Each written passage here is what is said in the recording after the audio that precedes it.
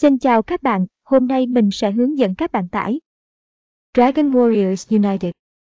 Trên PC với phần mềm giả lập mới, khá nhẹ và mượt, cho nên những bạn nào đang sử dụng laptop, máy tính có cấu hình yếu thì nên tải về và sử dụng nha. Và link tải giả lập thì mình để sẵn trong phần mô tả hoặc bình luận của video này.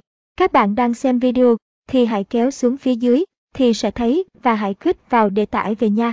Hoặc bạn có thể vào website bcabk.mobi và bấm vào tải giả lập là được. Và nếu các bạn sử dụng trình duyệt Chrome, thì file tải nó sẽ nằm dưới góc bên trái của màn hình. Thì bạn hãy click chuột vào, thì nó sẽ hiện lên một cái bảng. Và bạn hãy nhấn vào nút cài đặt ở giữa để cài giả lập lên máy tính. Và thời gian cài đặt thì cũng nhanh lắm, tầm 3 đến 7 phút là xong rồi. Và khi cài xong thì bạn hãy mở giả lập lên nha.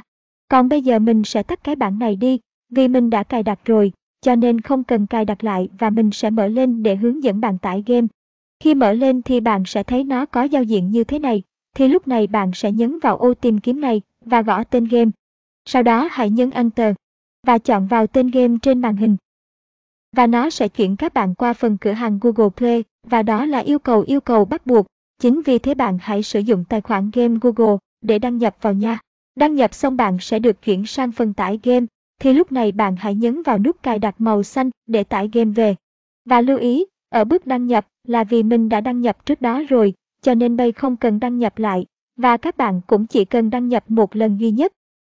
Và khi tải xong, thì bạn sẽ thấy nút màu xanh có chữ phát, hoặc có chữ mở, open.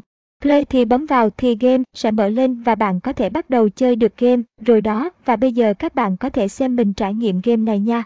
Lưu ý, bạn hãy mở giả lập này trong 2 3 ngày đầu tiên để nó tối ưu hệ thống game tốt hơn, giúp bạn chơi mượt hơn.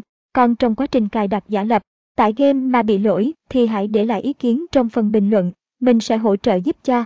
Chúc các bạn chơi game vui vẻ.